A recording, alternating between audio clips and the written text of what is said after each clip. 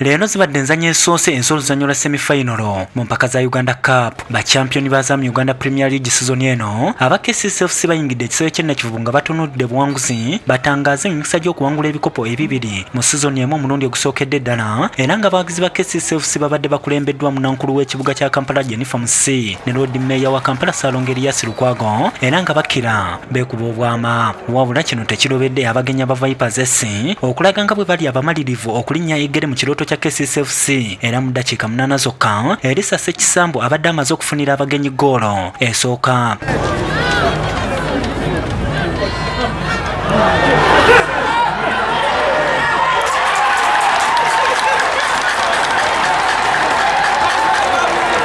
Mu kitundu ekyokubiri alfred leku afunidde abagenya ba vipers goolo eyokubiri